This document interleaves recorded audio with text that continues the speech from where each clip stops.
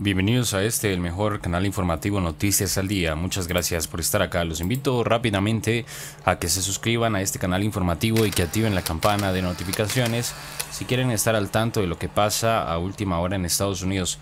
John Biden pone fin al estado de emergencia en la frontera con México. Por eso Donald Trump construyó el muro fronterizo. Antes de empezar como tal con esta información, los invito a que dejen un comentario en este video y un me gusta también para apoyar a nuestro equipo investigativo. De antemano, muchas gracias. El presidente de Estados Unidos, John Biden, canceló la declaración de emergencia nacional en la frontera con México.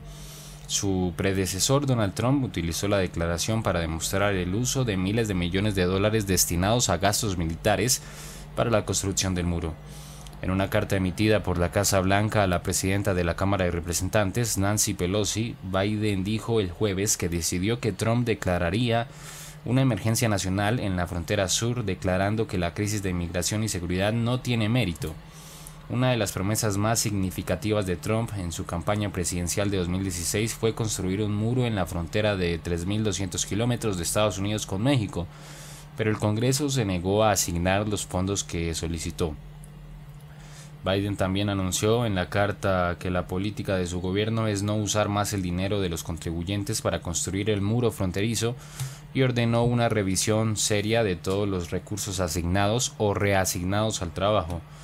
El muro es parte de la política migratoria de Trump que incluye la detención de cientos de miles eh, de inmigrantes indocumentados y el transporte de decenas de miles de solicitantes de asilo a México y Centroamérica.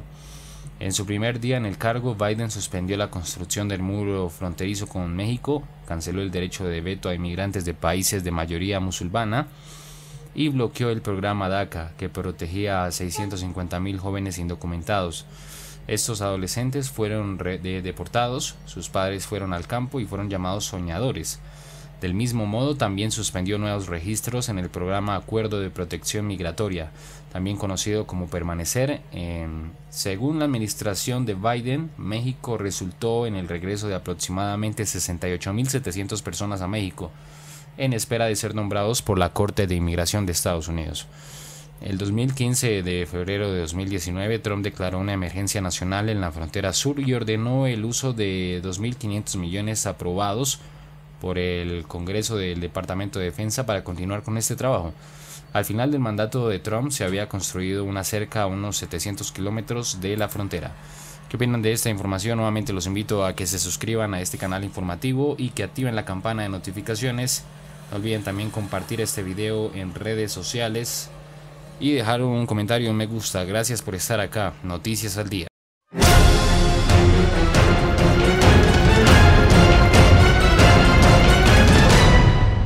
Si no te quieres perder de los últimos acontecimientos que pasan en el mundo, suscríbete y activa la campana. Somos Noticias al Día.